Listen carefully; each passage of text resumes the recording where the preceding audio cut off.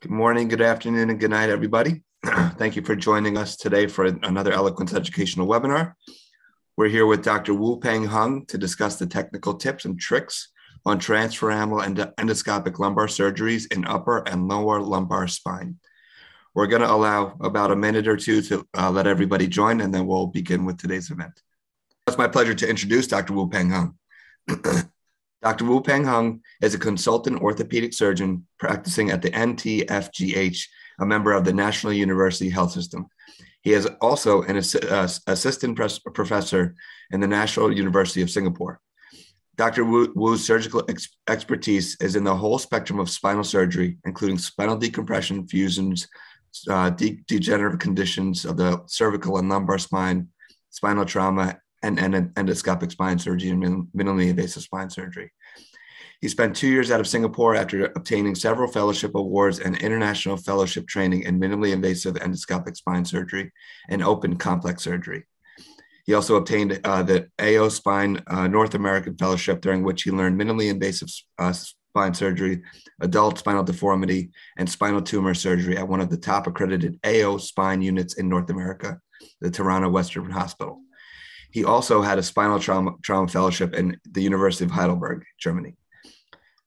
Despite his wide spectrum of spine training and his main academic interest in spinal endoscopy, in the past two years, he has authored more than 40 publications in spinal endoscopy related articles, and currently 70% of his spine practice is done using spinal endoscopy. So you have one of the best here to, to learn about one of the uh, one of the uh, great topics about endoscopic spine surgery. Dr. Wu, we thank you for being here with us today, and the stage is yours to share with the audience. Okay, thank you everyone. Good morning, good afternoon, and good evening, depending on which part of the world you're in. Uh, today, I will do it a bit differently than um, most of the time when I give a talk. I will share my screen and you will play a video. And in between the video, I would uh, pause and uh, do some polling. Greetings, everyone. Today, I will be talking about technical tips and tricks on transforaminal endoscopic lumbar surgeries in upper and lower lumbar spine. Good morning, good afternoon, and good night to all of you, depending on which part of the world you are in. Thank you, Elliquence, for inviting me to give uh, this talk and share my experience on these technical tips and tricks on transforaminal endoscopic lumbar surgeries. An introduction of myself. I'm a consultant orthopedic spine surgeon in Ng Teng Fong General Hospital, part of National University Health System in Singapore. My subspec, uh, subspecialized interest is in endoscopic spine surgery. I perform uh, uniportal and biportal endoscopic surgery, uh, varying from stenosis, discectomy, fusion, as well as cervical and thoracic surgeries in most of the degenerative conditions that I treat. My hospital treats about 12 percent of the Singapore's population, and uh, majority of my patients in the cohort actually are adult population. I acknowledge uh, my mentor, Professor Hyeun Sung Kim, and here is my list of uh, conflict of interest. It's a challenging time these days due to coronavirus pandemic. This is a picture of me on the left side operating in the hospital. I'm wearing N95 and uh, the hospital has a shortage of beds due to uh, allocation of bed for patients who need to be treated for COVID-19.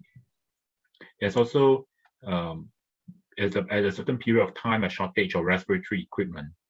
So in such challenging times, even as spine surgeon, we need to contribute to the world in uh, fighting COVID-19 and also in general to have a paradigm paradigm shift in our thinking in spine surgery. It's more than just patients benefit of minimally invasive surgery with less pain, smaller scar, less blood transfusion.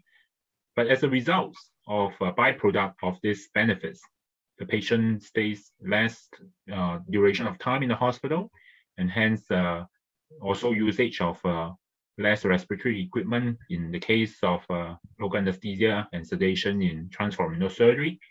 It actually serves as a public interest in this new era of pandemic. So the benefit of trans uh, endoscopic lumbar discectomy is immense. It, can be performed under LA sedation, which decreases the requirement of respiratory support.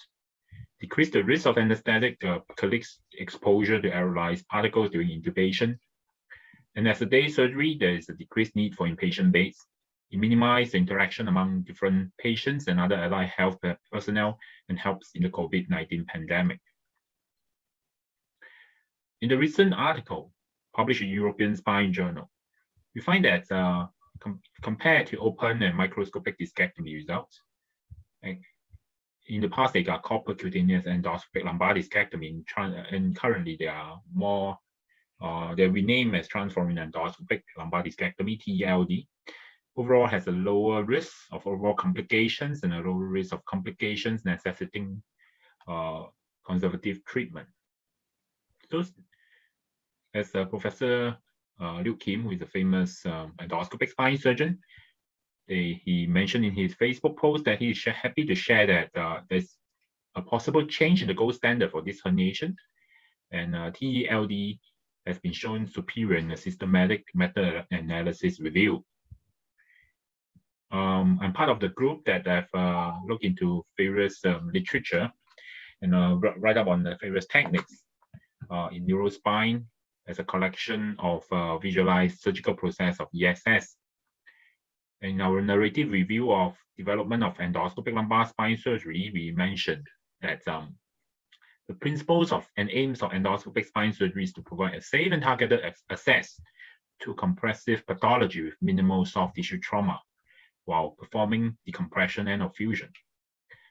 To achieve that, the three components of endoscopic spine surgery are magnified visualization, a, of the region close to the pathology. Having a working channel within the endoscope in the uniportal surgery with a customized endoscopic instruments of the length and diameter that suits the working channel allow us to deliver energy and resect tissues and retrieve loose fragment in the operative field directly.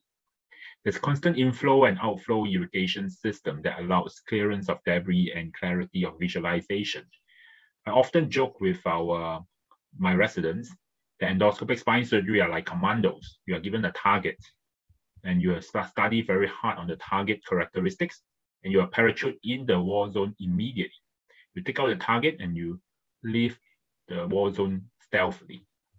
This is very unlike uh, infantry, where we uh, we gather in mass and uh, create lots of damages and uh, take out a wider target endoscopic spine surgeons are like commandos. We need to analyze and understand what we are looking at and uh, take out the enemy or the target disc uh, in a very stealth manner that preserves soft tissue.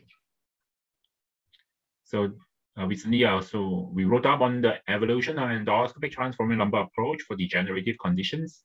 And we have a proud long history in transforaminal endoscopic spine surgery. Um, Smith et al. actually started out with uh, tackling disc with uh, pain. Uh, as we know that actually have some reactions to the nerve root and subsequently stop.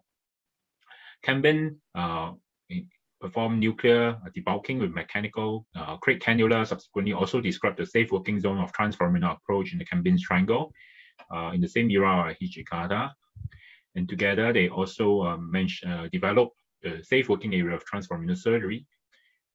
Further on, uh, Anthony Yeung, Hoogland, uh, Dr. Ruetten, Dr. Lee, Dr. Choi, and uh, Dr. Hyosung Kim, as well as Dr. Lim Kantik have variously described in various uh, literature that um, shows how we can tar target um, uh, transforaminal endoscopic lumbar discectomy using various techniques.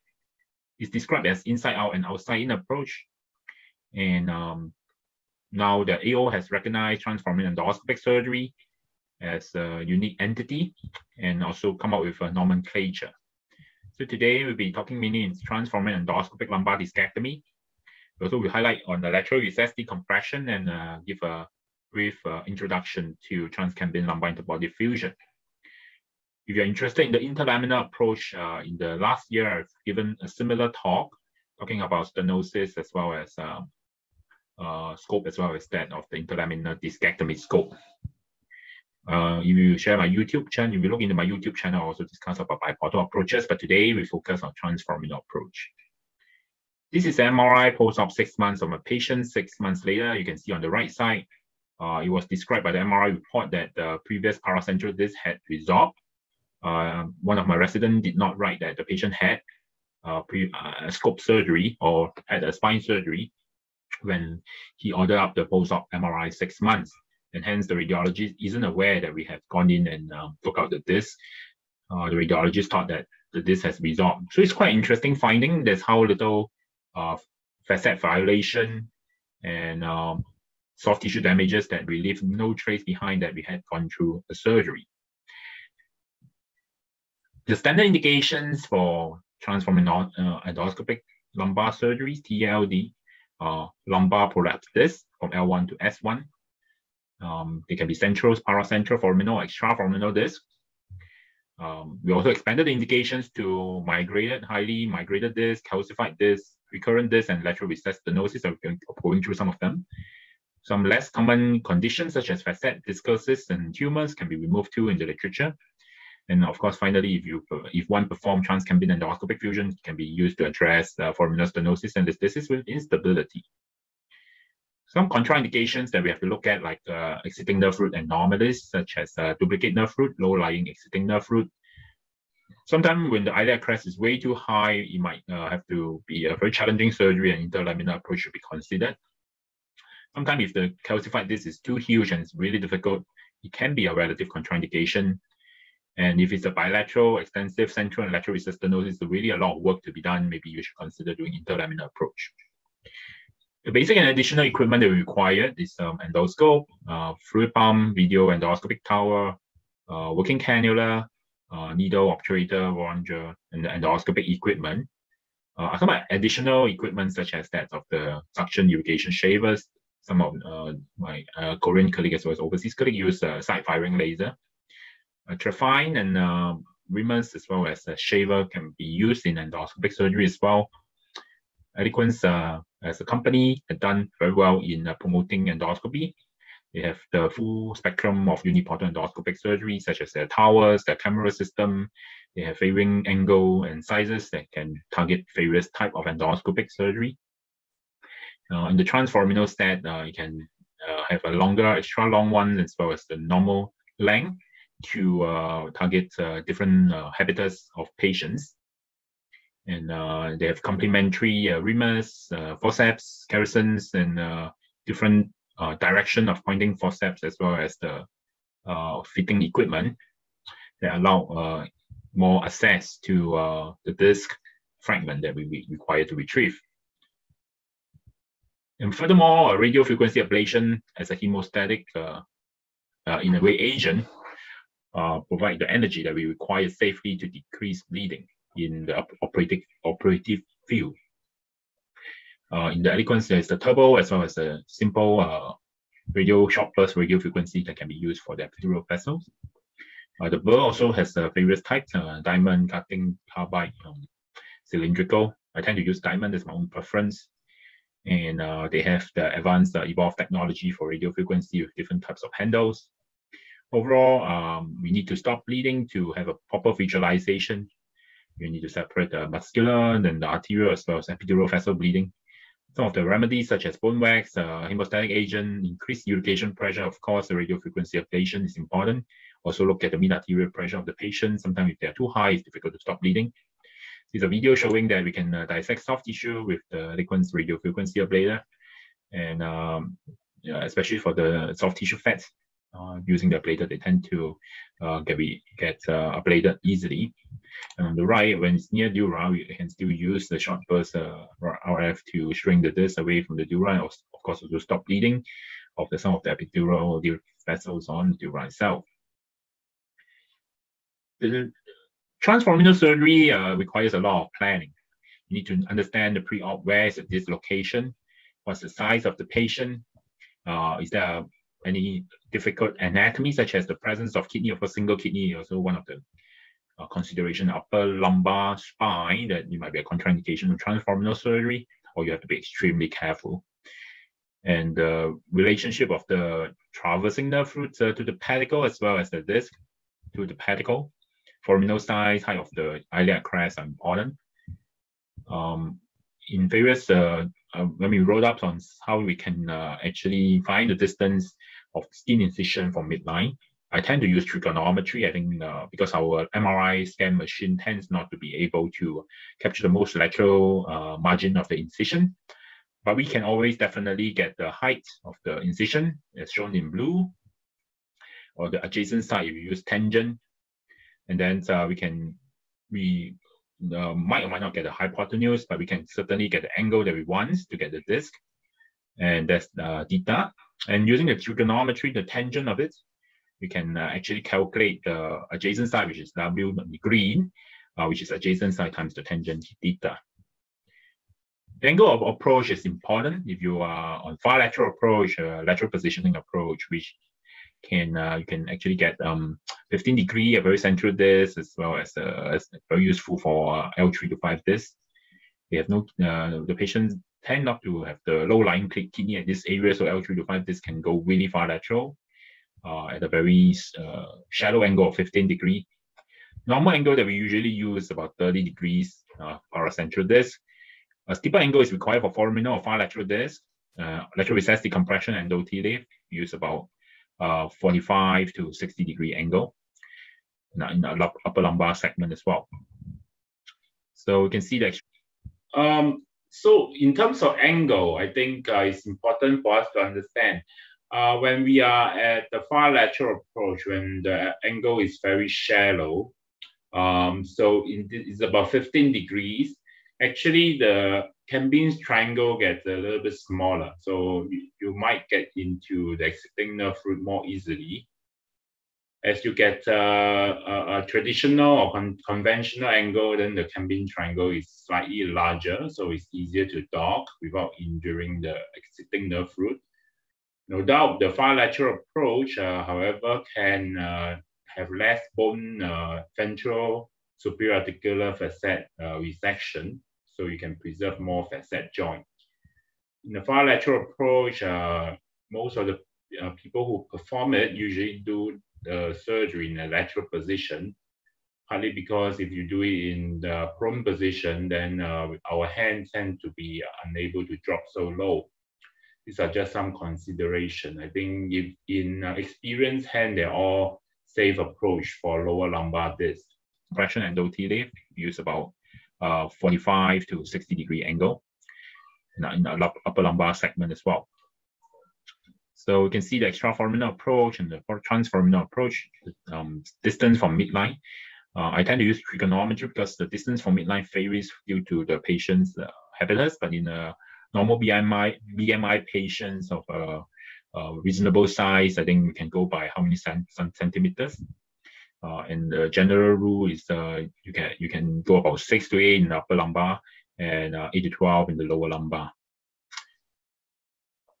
Some people use the radiographic markers. Personally, I have no experience in it, but it was described in literature. Too much coordination is required to mark the skin incision. Um, Professor Lee Kim and uh, and us, uh, we like to describe, or we also use manual palpation to find the lateral edge of paraspinal muscle.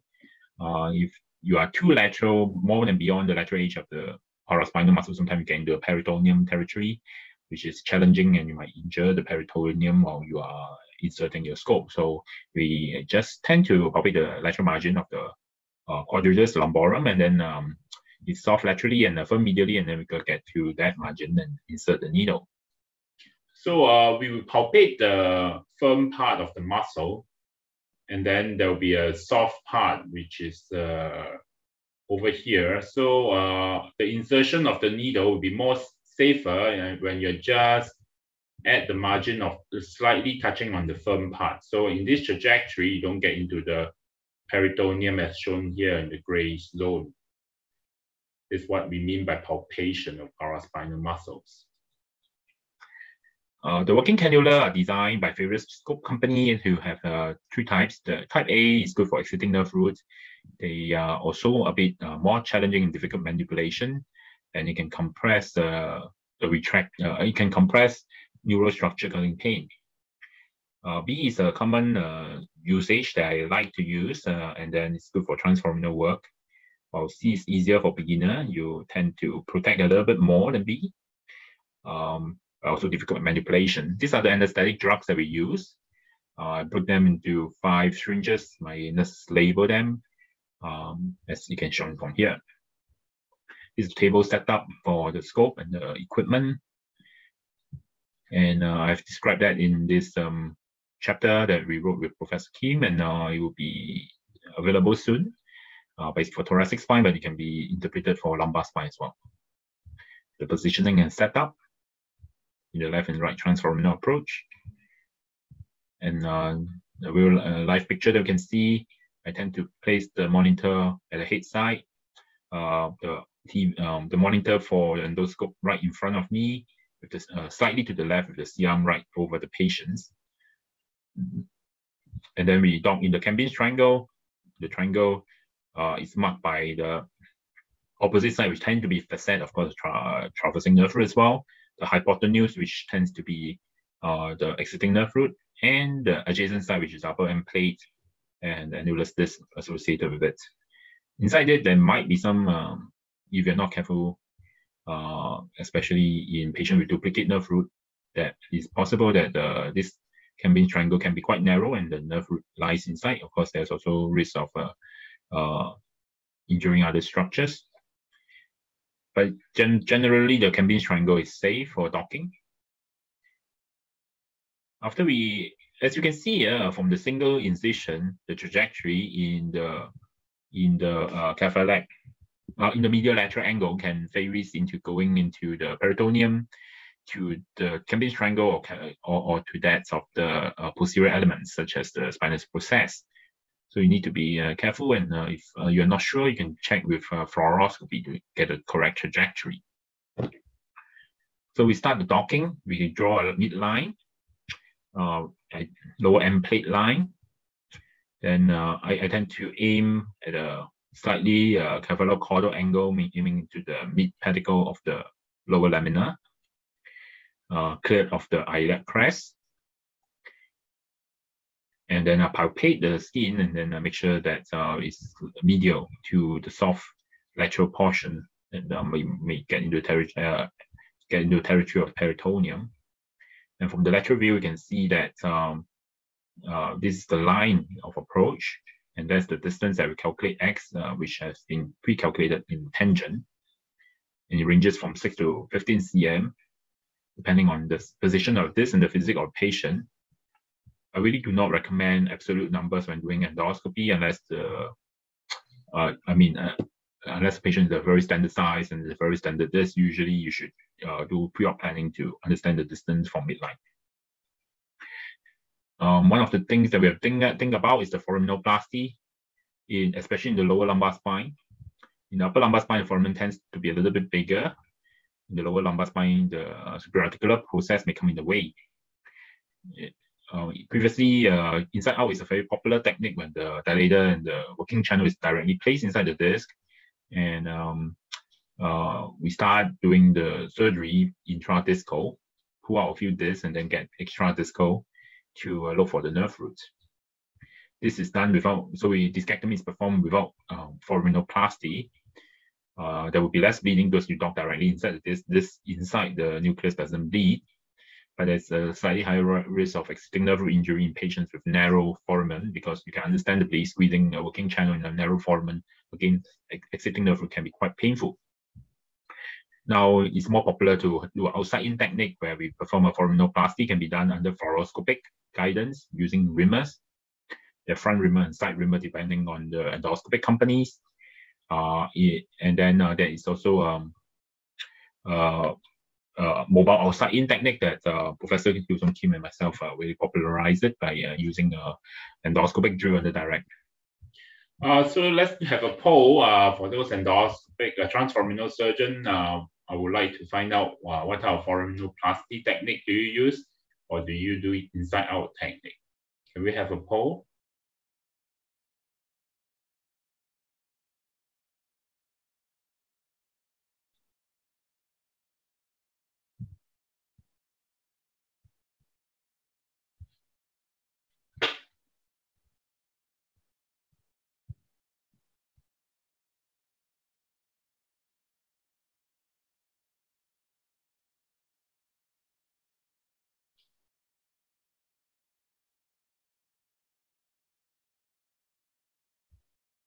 Uh, majority use the front reamer and uh, some uh, in a number of about quarter do inside out technique. Um, it's interesting that some uh, of us also use Kerrison rongeur for the foraminoplasty, and uh, smaller number of people use the side reamer. Uh, about a third use the endoscopic drill.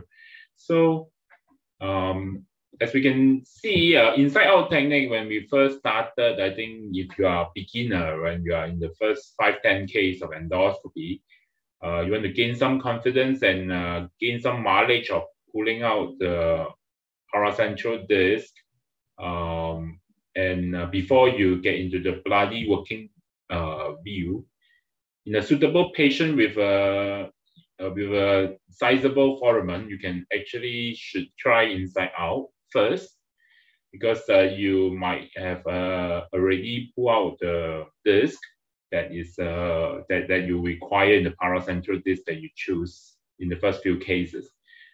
Then you can, from inside, you after you do the discectomy and uh, decompression on the ventral aspect of dura, you can pull back your scope slightly into the epidural space and then uh, control bleeding and look for the dura.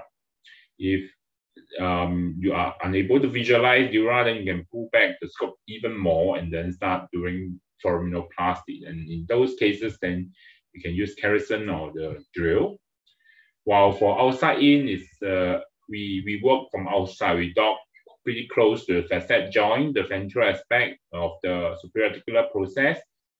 And uh, you can either use a serial reamer front reamers, or you can use side reamers, or you, uh, you can drill in, into the foramen. And uh, by the time you expose, then you can see the annulotomy site is either by your needle or the when the prolapse disc occurs. Visualization. These are the steps that we can do. As you can see, make a skin incision after we give the local anesthesia, the planned trajectory, um, and then we aim towards that of the foramen. This uh this this video is done many years ago. Um, so sorry for the poor quality, if any. I aim towards the L45 foramen, and then uh, under the lateral view, you can slowly proceed to get into the uh, ventral to the facets. And then uh, we give the facetal block, and then of course the nerve root block as well, using contrast and epidural uh, using contrast and ropivacaine, I like to use ropivacaine for short acting, uh, medium acting purposes. For lower uh, lumbar segment, your needle can be placed um, just medial to the pedicle line, into the disc, and then uh, I tend to inject indigo carmine into the disc so that we can uh, light the disc up with a bit of a blue dye and it's easier for uh, visualization and uh, orientation. After we get into a good Kambin triangle position seen in the AP lateral view, we insert um, guide wire and uh, subsequently dilator and then the scope. As you can see from here.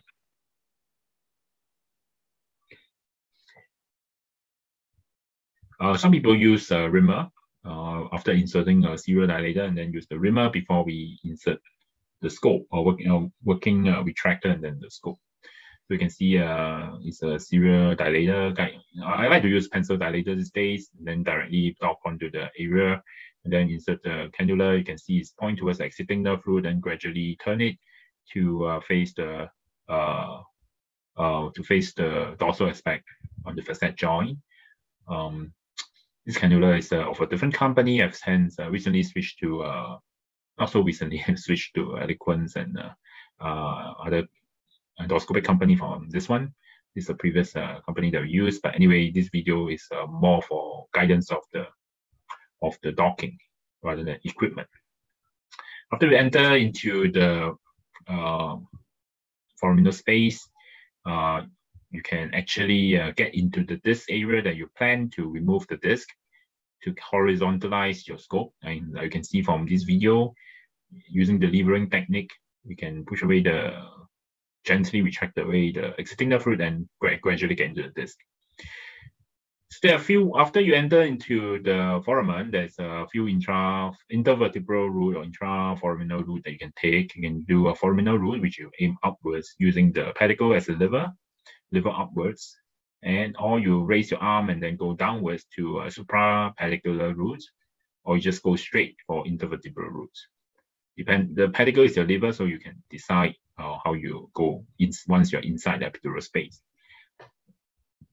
Sorry, then subsequently you do annulotomy. I mean, you find where uh, there is a where the disc came out from, um, and then uh, you do a discectomy by uh, changing to a large forceps and then grab the disc.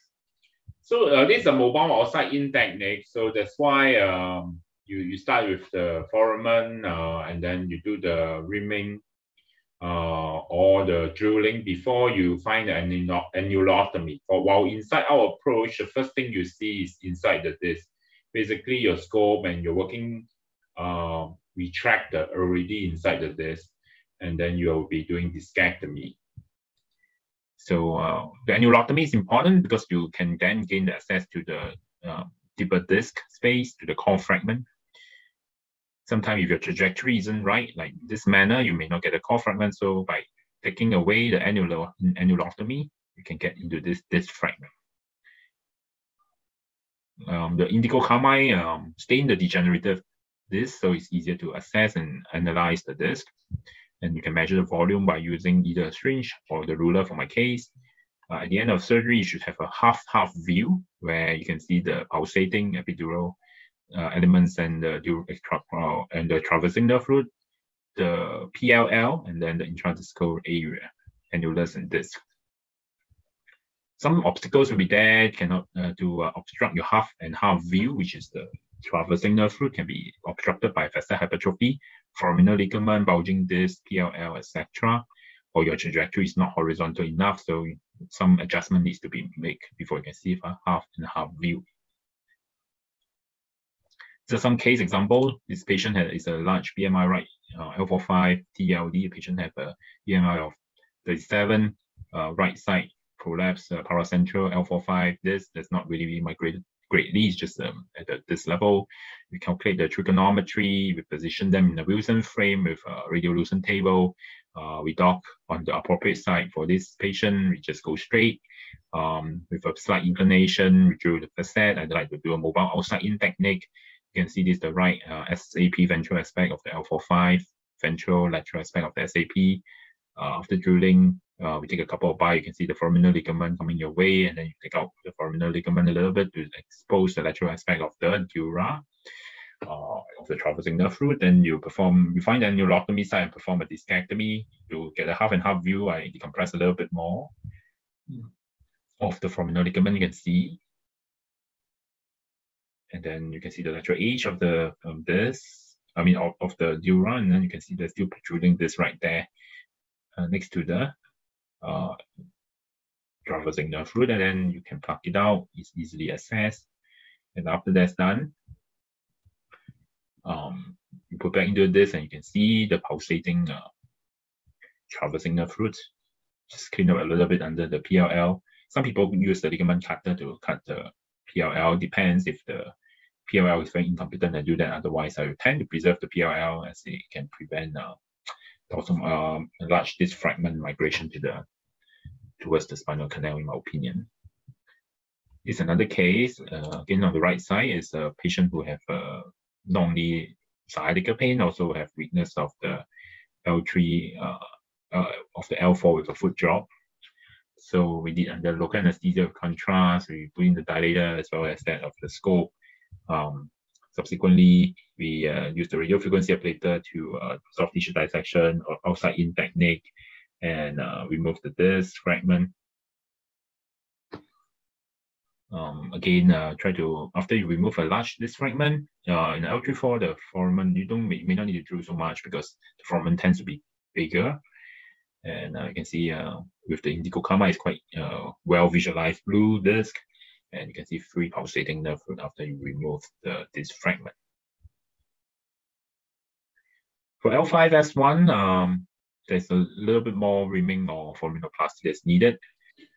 So uh, at this point of time, um, if maybe if there's anyone who have any question on L45, we can discuss as well or uh, raise hand. If not, then we will can discuss for a few minutes, then we can go to the L5S1.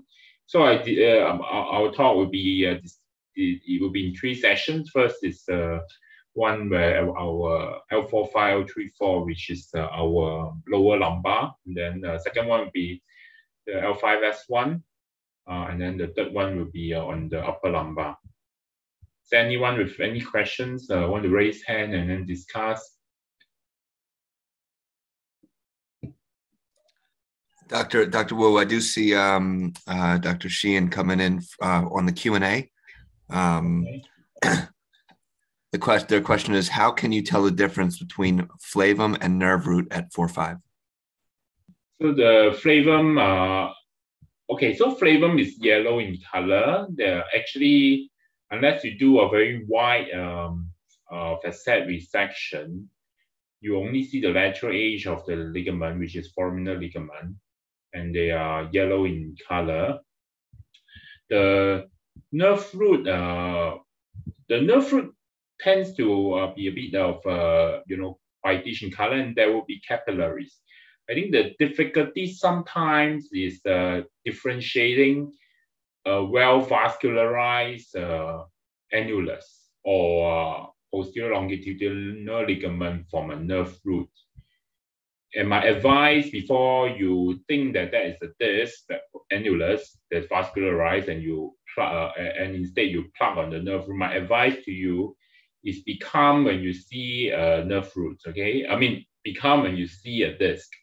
You do use the radio frequency ablator in a short burst and then test by uh, radio frequency ablating the disc. It helps you in two ways. First, it coagulate and shrink the disc for easier grabbing. Second, if it is truly a nerve root, when you do that, either the patient is unhappy if they are under sedation, or the neural monitoring uh, will fire up if you are doing under general anesthesia. So I hope that answers your question. I think the flavum is not that difficult to tell. Uh, usually it's just underneath the facet and yellow in color. So Petra asks, um, why do you prefer drill compared to reamer?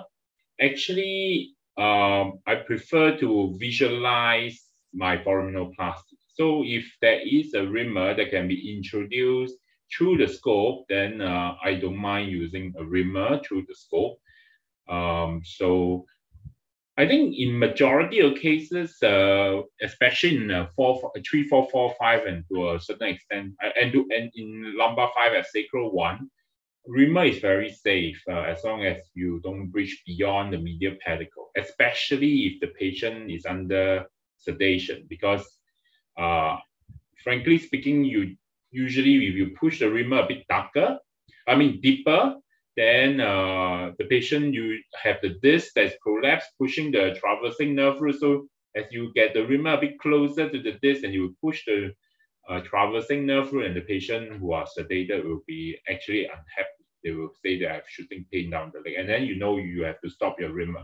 So uh, in those cases, actually, you're quite safe. You don't really ream the nerve roots. Um, but it's just in our training that uh, we are comfortable visualizing the, the uh, foraminoplasty. So we do it outside in and then therefore drilling. Dr. Hung, but uh, before you uh, move on, I do see a raised hand from somebody. Would you um, like to me to bring them on? Okay, sure. Uh, Dr. Khaled, I'm going to bring you on to speak. Dr. Khaled, can you hear us?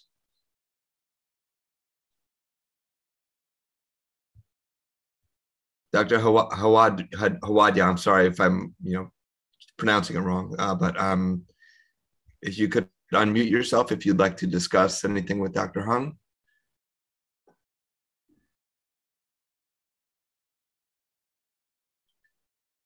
All right, I'm not hearing anything. So um, if you want to ask your question, please just type into the Q&A or raise your hand again. I'm going to lower your hand. So I answer the last one. For mobile outside in, may I ask what is the target of the needle? Is it on the SAP or the disc itself? The needle will be in the Kambin's triangle and uh, it will be exactly what you do in the inside out tech because we haven't reamed the facet joint, when you put in your pencil dilator, uh, your working retractor will be on the facet joint. So you are outside, although your needle started inside.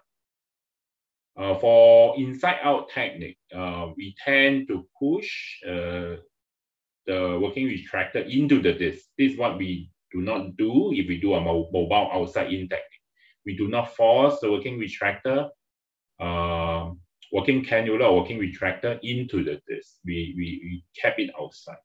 I hope that answers the question. Okay, if um, no more question, I continue with my 5-1. We can ask more questions later. For note, this is good for L5S1 transforaminal approach. It is the marking, which is similar to what I've described. And uh, you can dock at the facet joint. You tend to need to remove a little bit of pars, a little bit of facet, and then um, so here, uh, I think in L5S1, the main difference is you have a large transverse process. This large transverse process tends to obstruct the angle of the approach. And you do realize that when you do a L5S1, especially in high iliac crest cases, sometimes you can't find it even difficult to get the needle into the Kambin's triangle. And that's not only because of facet joint, that's also partly because of the, of the large transverse process, the bottom, uh, the caudal part of it. So uh, after you dock, uh, if you do a mobile outside in all remain technique, you tend to take out a little bit of the transverse process in blue, as you can see here, a slight amount of pars, and uh, the age between the pars and the transverse process, you call it mammillary process if you put a pedicle screw, but I mean, that's really the region where you be uh, start reaming first before you get to the ventral lateral aspect of the facet joint. Uh, and, you have to trim uh, the lower part of the TP before you get into the disc, especially in the high iliac crest. Some people even drill through the iliac crest to assess the iliac crest. Uh, um, the Girish Datta group, as well as that uh, in another Indian group, have uh, pointed out about the pedicle of L5. Um, we, we generally want, if possible, the iliac crest to be just below on the AP lateral view, the pedicle of L5, so that we can uh, have a reasonable good chance of getting uh, into the uh, foramen of the L5S1 without um, causing um, without a high uh, amount of resection of the ventral facet of the L5. So uh, you might need a little bit more steeper approach uh, in L5S1, although you're far away because of the iliac crest. This is a video showing how we do a right last mobile disc, uh, L5S1 disc. She has a sciatica, large foraminal disc uh, prolapse. I can see the mid lower picture. Uh, for her, unfortunately, it's a low iliac crest. So this is the tangent uh, trigonometry distance that we calculated. And then we dock the dilator and and proceed to do the discectomy. As you can see, the lateral ventral facet um, of the L5S1 is rather huge. It's really in your way. So you need to drill the lateral aspects and uh, in some instances also the TP as well as that of the pars interarticularis. They also have a quite a broad L5S1 foraminal ligament. Uh, you resect them away and then get to the disc fragment. For this patient, she has a foraminal disc, and you can see from here, it's bulging. It's really on uh, next to the nerve root. You can separate the nerve root. Uh, I find that sometimes this can cause a significant uh, dysesthesia for the patient. This patient has uh, some post-op dysesthesia, which require another separate procedure to uh, inject the local anesthetic with steroid to calm her nerve down. After that, she recovered from the post-op dysesthesia. You can see that the discectomy is performed with the exiting nerve root quite close to it at the end of the surgery.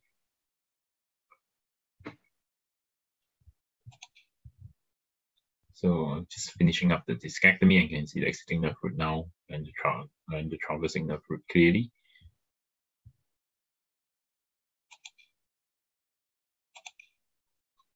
Okay, and this a pre and post-op uh, imaging. You can see that this is completely removed successfully. Uh, she has some post-op dysesthesia, which is relieved by injection. And she's uh, very happy. In the upper lumbar spine, we so uh, in the in the L5S1, uh, the main thing is uh, I mean, we, we typically about 8 to 10 cm, depending on the iliac crest. If it's a really low lying iliac crest, you can go as far as 12 cm and, and you get a good angle into the disc. Um, however, if there is a high iliac crest, you tend to need to be a bit more steeper angle and then you uh, get rid of the transverse uh, process and then uh, a little bit of pars, superior articular, ventral, uh, lateral aspect of superior articular process before you get into the disc. So that raises the question, if it is a very high iliac crest, is it worthwhile doing transforaminal surgery uh, rather than, uh, shall we do an interlaminar endoscopic discectomy uh, where we do not need to resect uh, so much facet joint. So in some of the L5S1 cases, when really, really unfavorable, I think uh, it might be a better advantage to do uh, under interlaminar approach.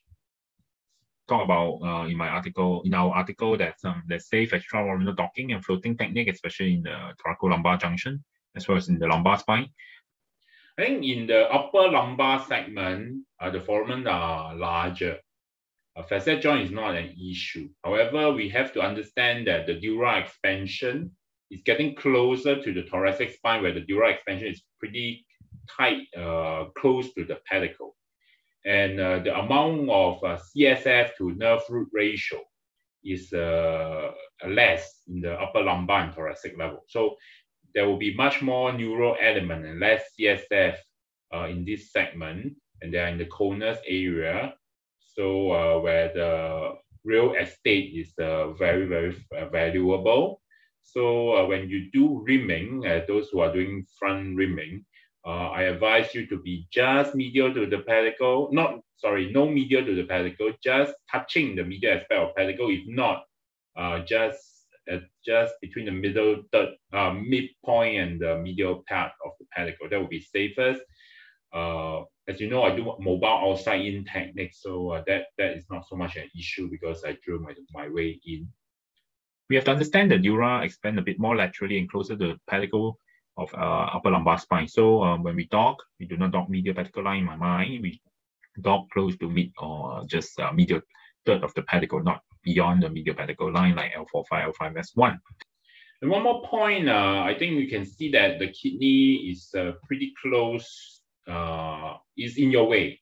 So doing a far lateral approach or 12 cm off the off the um, midline might get into the kidney, and uh, and that is the catastrophe. I mean, you have lots of bleeding, and if you ream uh, in that manner, you're reaming the kidney, so it's really no good. So uh, you, you have to really be very careful in pre-op planning and plan your uh, distance from midline well. And uh, if not, uh, try, I mean, usually I find it is between six, it's usually six cm, if not six to seven cm, no, uh, or most seldom more than eight cm. Okay. So that we don't get to the lateral dura edge and it causes uh, inadvertent uh, dura injury. So this is a video showing that. Uh, so to in order to do L1 to this, you need to be a steeper angle. Steeper angle meaning uh, probably 45 degrees, sometimes 60 degrees rather than our traditional 30 degrees. This is a technician who have three years history of severe, uh, three months, sorry, three months history of severe right radicular pain and he put to ambulate and quit his job. Uh, his weakness in the right hip and as well as the right knee. You can see uh, a significant L1-2 foraminal stenosis as well as the prolapse disc in the right side. So uh, we did under local anesthesia. Uh, we did enough nerve L3 for nerve root block as well because got some foraminal stenosis there. It doesn't get better, so we proceed to do the L1-2 discectomy. We dock, uh, as you can see, on just mid, mid pedicle line for me, and get into the disc with the uh, dilator as well as the uh, wire, and uh, perform a discectomy. And this is the pre-operative state. He needs to walk with a walking aid, and after the discectomy, is able to walk freely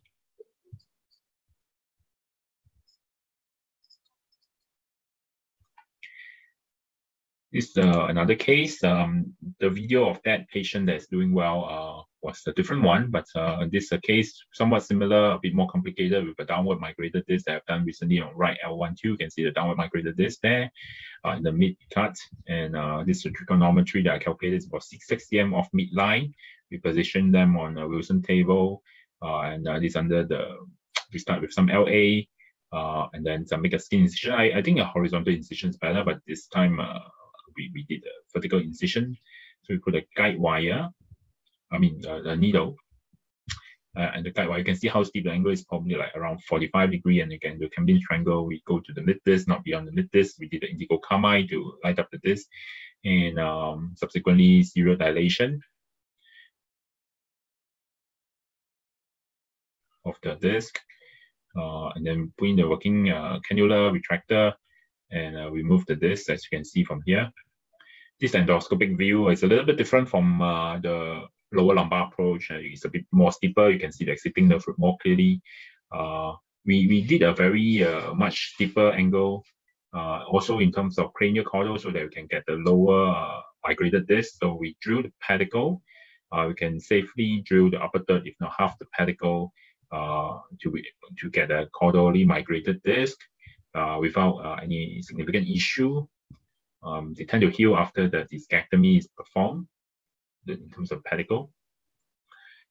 Uh, of course, if you do a transpedicular approach, or sometimes you do more than half the pedicle, then there's a risk of pedicle fracture, but they are common. So you can see that uh, after we drill the pedicle, as well as that of the superior articular process, then uh, you can see we gradually punch out and expose the uh, dura. This L12, L12 is uh, kind of the conus level, so need to be very careful to prevent uh, any uh, conus medullaris syndrome, which is quite a catastrophic complication for high level lumbar spine surgery. So we're careful and then we slowly using the Elliquence Kerrison rongeur and then some expose the, the dura, the L2 traversing nerve roots. And then uh, you can see the dura here. Okay, um, the drill is quite safe. The diamond drill, if you uh, execute it well to uh, trim off the bone to assess, assess the dura a little bit better.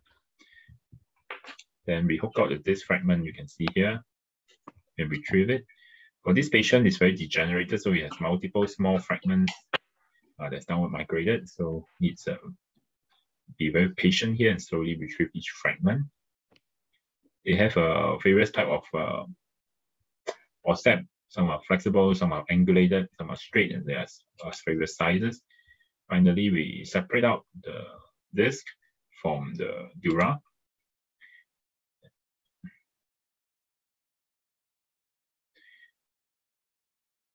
Okay, and then uh, we move the last few fragments of the disc. Okay, the last one, you can use a abortive probe to hook it out the most challenging part because it is the conus level. We need to be very careful, we're very gentle. Finally, we free up the last piece of the disc. There are like more than five or six of these pieces. One of the more difficult transforaminal surgery we encountered in the past recent um, recently. And then you can see the pulsating uh, nerve root after we remove the this fragment.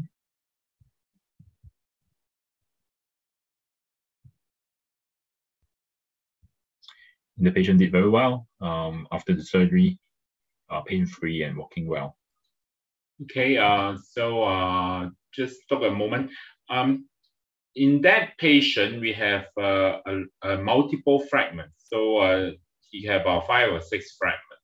And we can tell in the pre-op MRI that the disc look heterogeneous, not one single piece uh, of this, they, they actually have different shades of color in the, this fragment, so that's predictable.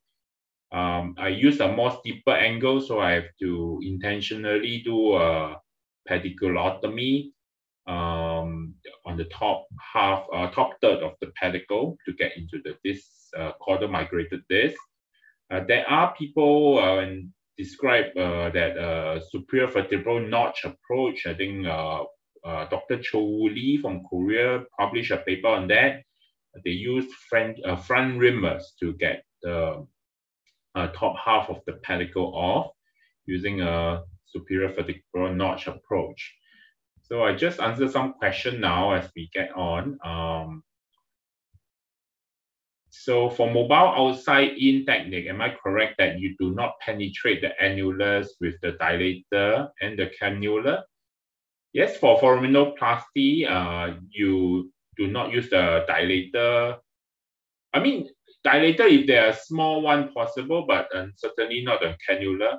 I do not advise to use a dilator to penetrate the annulus as well because you make a you can make a big hole in the annulus and then uh, we tend to try to keep the annulus uh, not to not not making a huge hole out of it so that uh, to prevent recurrence. Um, second question for mobile outside in, if the cannula and dilator is not docked and fixed into the disc, how do you avoid dislodgement of the endoscope? what will be anatomical structure you identify when you insert the uh, scope? I think it, that's an excellent question. I think uh, mobile outside technique, as I said, is a little bit more advanced uh, and challenging. A few things that you have to encounter, you have to keep your hand very uh, in a very fixed manner. Uh, you might get into, if you are new to endoscopy, you might get in out of the foramen and then you get into uh, the muscles and uh, you start dissecting with the radio frequency ablator, you get lost, and then the bleeding comes and it can be quite discouraging. So uh, you, you do mobile outside in technique where after you are familiar with uh, a transforaminal endoscopy, and then uh, what is the anatomical landmark that we use? I tend to use the facet joint, the ventrolateral aspect of the facet joint uh, you might see the inferior articular process a little bit if you are a little bit steeper in the angle. Uh, but we tend to try to get underneath the inferior articular process and drill on the superior articular process. And that is the main uh, find, uh, main anatomical landmark. The second anatomical landmark is the uh, arch that uh, uh, basically is between the pedicle and the vertebral body. So that, that arch is also an identifying feature. You can uh, help to identify it by both the uh, fluoroscopic guidance as well as under direct visualization because there is a nice arch that is a uh, pedicle and the vertebral body and you can actually verify that and that keeps you oriented. After that, you can get into the disc uh, we use indigo carmine, so that this is natural, uh, is lighted up blue, so that is another anatomical features. If you do not have indigo carmine, it's fine. Then uh, you you can also uh, look for the disc. Yeah, so um, that that are the some of the identifying features. Can mobile outside in technique to reset far lateral disc? Uh, certainly, in, in fact, in uh, far lateral disc, you tend to have a steeper angle uh, you might have you, you still have to reset a bit of the lateral aspect of the inferior articular process and the uh, and the lateral aspect of the superior articular process to have the working space required for your working retractor to be pushed in. So you need to ream, uh, you need to not say ream, you need to drill a little bit uh, to, to so that your working retractor can be proceed in. So when you're doing far lateral this, uh, if you are we should try our best to protect the exiting nerve root. And one of the ways to do it is to do a full tube rather than a half tube. Uh, another way is we do the half tube and the half half tube, uh, half working cannula, uh, but be very careful in retracting the exiting nerve root because they are very sensitive and, and uh, is a dorsal, dorsal root ganglion. And if you read the paper that we I published with uh, G, uh, Professor Ji Yong Kim and Du Kim, uh, the exiting nerve root, uh, dysesthesia can be a bit much uh, higher at the foraminal and far lateral disc, so you have to be careful uh, in this uh, group of patients. Okay, so I will proceed to the next uh, part. How about revision surgery? So, uh, well, this patient uh, left L45 revision TLD, a 43-year-old man who was from another hospital um, at the L45, uh, minimally invasive tubular discectomy done six months before coming to see me. He had the recurrence of the disc, severe left-sided leg pain. Uh, so we did endoscopic surgery. The advantage of endoscopic surgery is under LA sedation, and uh, it's almost like a virgin territory and do transforaminal surgery to revise a previous uh, tubular um, interlaminar surgery, tubular open uh, discectomy. And then we do the docking, and when we did the discectomy, the discectomy surgery is pretty similar to our routine transforaminal surgery. Uh, you, you do a facet um, foraminoplasty using the drill, just trim a little bit off, not a huge amount, so it doesn't cause instability in patients with previously a, a laminotomy, discectomy uh, using the open approach. So you can uh, gradually trim off and then uh, get access to the this space. You can see the annular tear right here. And then um, you can perform the discectomy.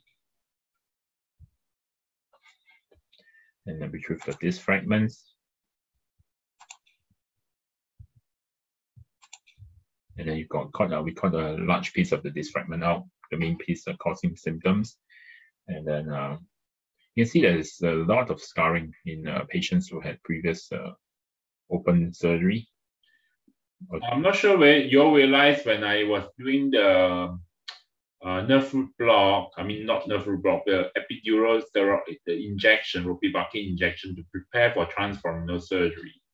You can see that the flow of the uh, contrast is very ha haphazard. So that shows that it might be due to scarring. So they are not nicely flowing to the exiting and the traversing nerve root.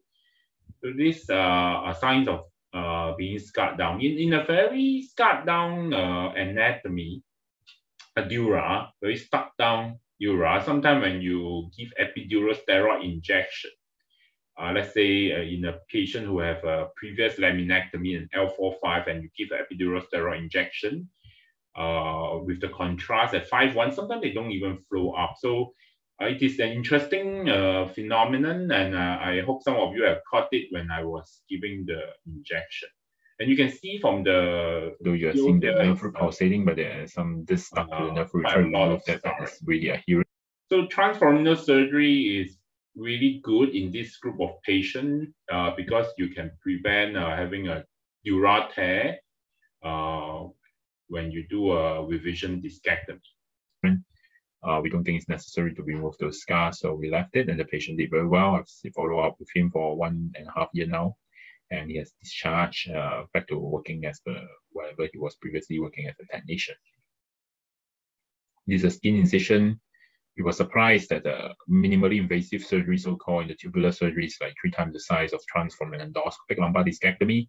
Also surprised that we can do it under local anesthesia and sedation. But anyway, the main gist of it is not only that, it's also the fact that in the revision surgery, you can get into a more like a virgin territory and preventing uh, a dura tear. And this is successfully removed. So this is commenced after the surgery. It's working very well. Due to PDPA, yeah, I decided not to uh, let you all hear how we talk. And then he described that. Sorry, uh, in my country, it's quite say his first surgery. Uh, he did well. However, the second one, he feels more uh, better because he, he went home after five hours of resting. And uh, he, yeah, doesn't require aids to help him.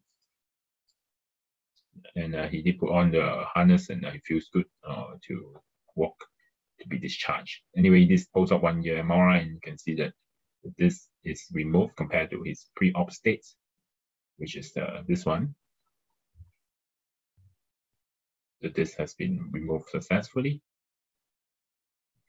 So the key difference in operating and the recurrent this is uh, the during revision there might be less bleeding and less bone work, but uh, you are, we are always worried about adhesion, no flavum protection, high risk of dura tear, and maybe uh, instability. Sometimes a patient who are not fit for GA may require lateral recess decompression.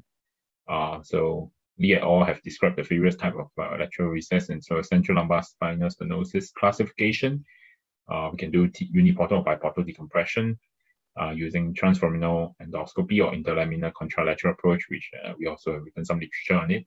Of course, endoscopic fusion as well. This is how we do contralateral approach, uh, which is uh, discussed in the previous webinar. Of course, we can also do a fusion, as we can see here.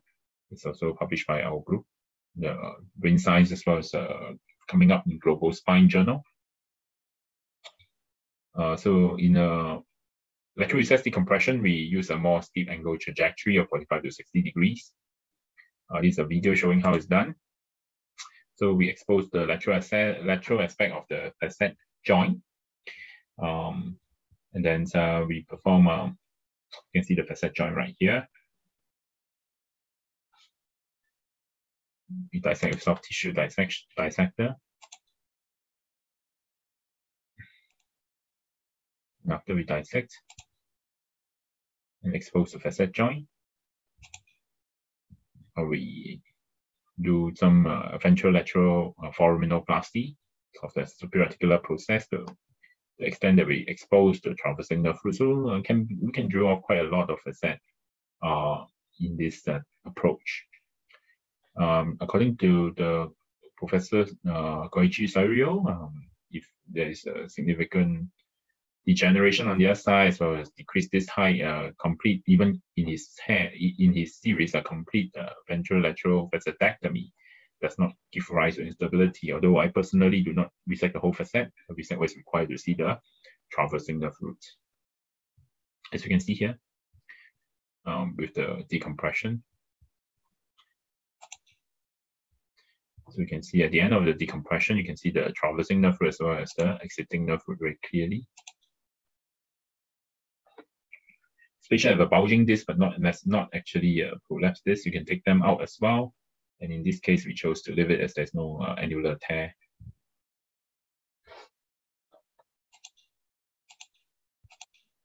We just uh, shrink the disc and see the traversing nerve root and then the exiting nerve root pulsating after the lateral decompression.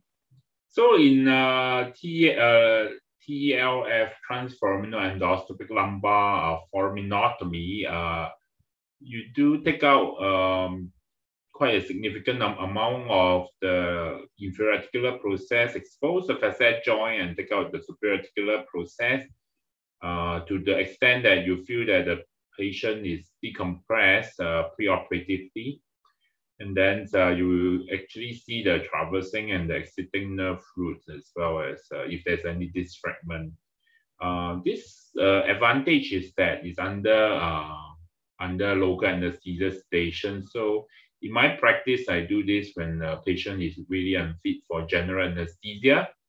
And then uh, another uh, good point is that, uh, I mean, uh, the Japanese group, Professor Sairyo, have mentioned that they did in the series, if they have a very collapsed disc and the contralateral side facet are pristine, there's not significant listhesis. If you take, even for them, they take out the entire facet uh, of the SAP, entire SA, uh, superior process, there isn't uh, instability in that series. So it's quite a powerful tool for lateral recess decompression. Of course, it's time more time consuming, especially if you are if, if the surgeon is not comfortable with doing uh, drilling in an endoscopy, um, I don't advise doing TELF uh, by reaming alone. You can ream half of it, but you can just keep reaming and keep going until you hit the nerve root. So the last part, you still need drilling. So you should be competent in drilling before you try TLF. Um, this is a video showing an end plate preparation and fusion. We have written it up due to limitation of time. Uh, please review this literature that I published with uh, Professor Wilson Kim and uh, Professor Koichi Sairyo on the endoscopic fusion technique. You can actually use the Elliquence scope as well as other uh, uniportal or transformer scope to uh, perform very uh, detailed discectomy. You use a steeper angle, of course, and uh, you can see that we are preparing the end plate here this is more or less removed, and then we denude the end plate and use the probe as well to denude the end plate off. Uh, in uh, very degenerated cases and spondylolisthesis, uh, the end plate are very friable and can be removed uh, quite easily with this prep. And then subsequently, you can insert the cage, as we can show here with some specialized retractor. You need to know how to handle complication in terms of hemo, hematoma hemostasis. We have discussed that earlier. And uh, we also have published about our series on how to handle incidental durotomy. And uh, we basically, for anyone with uh, more than uh, cm, consider open closure or less than 7 mm to you can consider using a TachoSil patch blocking techniques. This patient uh, had a transforaminal surgery in another hospital. You can say, see that he, their front reamer causing a huge uh, tear and uh, nerve root uh, herniation, which we require to fuse the patient and open up the facet as well as uh, repair direct under vision. So uh, this case is quite interesting. It's done in another hospital, but I have access to the pre-op image. I think the thing is, this patient, this is the L3-4 transforaminal endoscopic lumbar uh, discectomy. Uh, however, the patient has significant uh, foraminal stenosis, which where the ventral facet, uh, hypertrophic facet, as well as the flavum, is uh, pushing the the uh, traversing nerve root uh, ventrally. Uh, and unlike having a prolapse disc uh, in a in a patient who have uh, um, spinal uh, stenosis, then the nerve root are actually pushed closer to the docking area in the Kambin's triangle. So once you ream, uh, once you ream uh, beyond the medial pedicle line, and that's how I suppose is what happened, uh, then uh, uh, under fluoroscopy and under general anesthesia, the patient have no chance to tell you.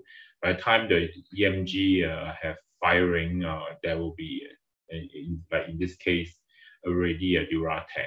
So uh, be very careful in spinal stenosis cases. Spinal stenosis can you can consider treating the spinal stenosis first with uh, like for example interlaminar stenosis scope. Elliquence have a very good set of it, and then uh, if you feel that it's very difficult to retrieve the disc from L3-4, I have tried combined approach with transforaminal approach, but uh, often you can continue with the interlaminar and uh, take out the disc. So um, in stenosis cases, uh, really have to be careful in uh, reaming. As you can see here. And uh, on another occasion, in a smaller dura tear, you can use the packing with the TachoSil and tissue glue to solve the problem. This is how we handle exiting nerve root injury uh, and uh, dysesthesia. It can be quite common in a very tight foramen, so we need to be careful. Um, sometimes we need to use the contralateral, interlaminar contralateral approach in this type of cases. Inadequate decompression is a real problem, so we need to uh, be clear on the steps and uh, obtain a half and a half view to inspect the nerve thoroughly. Um, there's uh, some questions about whether we should wear brace uh, in the SHIP study. They shows that uh, it takes about six weeks for the facet joint as well as the uh, spine to be more stable. So hence the Korean as well as in my practice, we tend to wear the brace post up to uh, help to uh, prevent the discomfort of spinal instability due to uh, before formation of scarring. Overall, the future of endoscopy is bright. You can see that uh, this is the minimally invasive tubular surgery, and there's our transforaminal scar is pretty small. And subsequently, after about a year, you can't really tell whether it's a scar or a scratch mark. But overall, more importantly, Roger Härtl and his team highlight to us that there's MIS benefits, benefit zone as more complicated surgery is require a more minimally invasive approach. And in my mind, the advanced endoscopy is where the benefit zone is magnified. Um, we have published in our series that we can do foraminal uh, cervical scope, which can help to prevent uh, implants such as ACDF and disc replacement, of course, in selected patients. Um, how about doing transforaminal approach in thoracic surgery? Uh, I think it is a good method to prevent uh, excess facet fibrillation or instability or also safely to prevent uh, conus medullaris syndrome or cord injury. And of course, uh, we can do for uh, stenosis in uh, patients who have uh, ossified yellow ligament, uh, preventing possibly in good hands, decreasing the trauma, amount of tissue trauma and the possibly the complication rate in uh, patients in experienced hands. And uh, fusion, we also describe the various technique to speed up the process of fusion. And um, finally, uh, in this uh, one of one of the more recent article that uh, involved in, we also describe the various endoscopic fusion techniques, be it the facet sacrificing or facet preserving foraminoplasty type of endoscopic fusion. Um, we now describe thoracic discectomy, and I think it's uh, AO Spine article invitation that will be published soon. Uh, I think uh, we can infer that you know uh, as we get more uh, familiar with lumbar endoscopic uh, transforaminal approach, then we can start exploring cervical and thoracic approaches, which really give the maximized benefit zone. No one, no need one. I mean, we can decrease the rate of one lung ventilation, thoracic respiratory injury, etc. Of course, in experienced hand, the experience come from lumbar surgeries. Um, I welcome you to the future webinars, and uh, I, I also participate in many of the Elliquence webinars to learn from the experts from all over the world. endoscopic surgery is a evergreen surgery. We keep learning from each other and we keep progressing together. If you have any questions, do feel free to email me. And uh, these two uh, posters that I found online tells a lot of story. You do not need to uh, create a huge scar to uh, let the patient know how much they have gone through. They have suffered enough uh, to have the primary pathology of a for prolapse disc, for example. And uh, we can just try our best to minimize damage to the secondary damage uh, of the pathology due to our surgery. And uh, I think uh, through all these uh, various webinars and meetings, we can show, uh, tell us what we can, and uh, let the experts uh, interact and show us what we can do together. And together, we can all work work together and walk further. Thank you.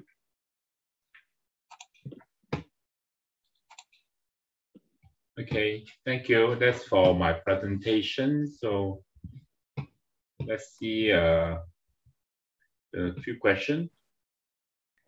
Or how um the first question is uh, how is your video so clear of blood? What water pressure do you use? I, I use a water pressure of 30 mmHg. Uh, pretty uniform, uh, 25 to 30 mmHg. In my cervical cases, I stick to 25 in uh, transforaminal cases, I go 30. If there's really a large amount of bleeding, then uh, we will uh, first, it's not to just pump up the pressure first, push the endoscope closer to the bleeding areas. And number two, when you see bleeding, do not leave the bleeding uh, there you, you try to stop the bleeding right there. But because once you move around a little bit, you may lose the main site of bleeding and it takes a longer time to stop the bleeding. Number three, if the bleeding is in the muscle layer above the facet, uh, post, I mean posterior to the facet joint, you just push your working uh, retractor deeper and your scope deeper, and then uh, those bleeding points are behind you. Um, scope bleeding uh, that obstruct your view happens usually either you have excessive bleeding from the behind the scope or um, you, you have a lot of bleeding in front of your scope. So you do not really need to increase the pressure a lot. If last but not least, if really you can't see much, then uh, you can increase your pressure uh, to up to 70 mmHg and then really quickly stop the bleeding. And once it stopped, then you uh, can decrease the pressure back to 30. To stop the bleeding, you can use the uh, radio frequency ablator and Elliquence that uh, uh, Dr. Ellman came out with the radio frequency ablator concept and his uh, Elliquence is the epitome of radio frequency ablator. You can use them. That aside, I mean, other company, of course, also radio frequency ablator. Um, so that, that is one way. If you uh, are unable to stop despite, and you're not very sure where is the bleeding from, you can come down before you convert to open. You uh, get Floseal. Uh, the Floseal, you squirt uh, probably the, almost a whole uh, half of the not whole syringe. And then you use the Kerrison and then gently push in the uh, Floseal. Wait for one minute and then uh, or two, then you switch on the uh, water again. Of course, you when you push in the Floseal, please stop the water, otherwise you'll be washing out the Floseal. It's a waste of money. And then you you uh, on the water after about um, two one to about one to two minutes, and then uh, you you'll be surprised a lot of time the bleeding will stop. So these are way to be clear of the blood. Uh, second question, how do you ensure complete removal or decompression of the chronic or calcified disc herniation via transforaminal approach? That's very good questions. Uh, I have done a few calcified discs. Uh, one of the more challenging one, it was in the L1-2 conus area. I should have shown it in my slide, but uh, there are uh, too many of these L1-2. But anyway, one, one of them is a calcified one. Uh, is challenging. You have to drill the base of the calcified disc, and then you use the uh, use the Penfield dissector and push the uh, calcified disc down, and then retrieve it. Um, if you have drilled thin enough, you can use the ligament cutter and cut the calcified disc.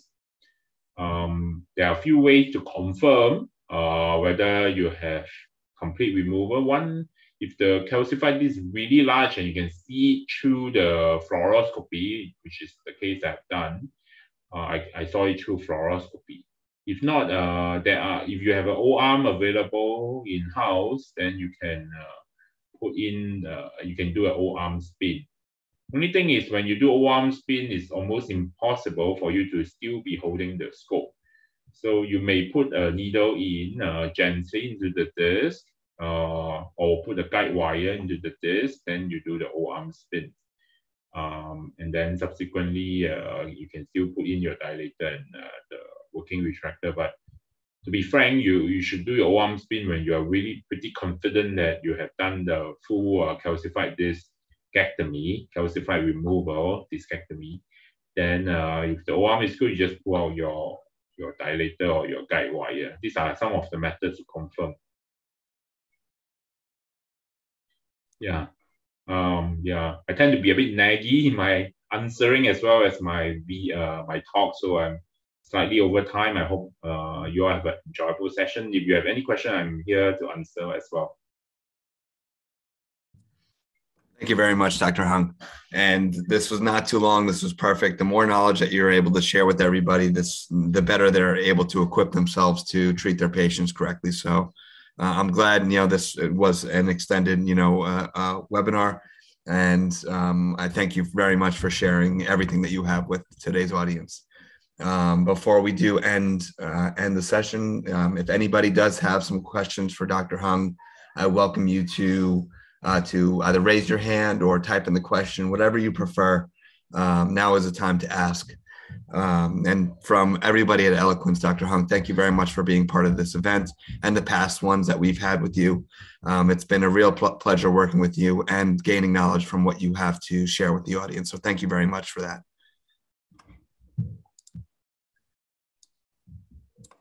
Um, Dr. Dr. Hung, if you do want to um, just type in your email if anybody does have any questions into the chat. This way they can uh, you know, utilize you for any questions that they do have about this topic or anything about endoscopic spine.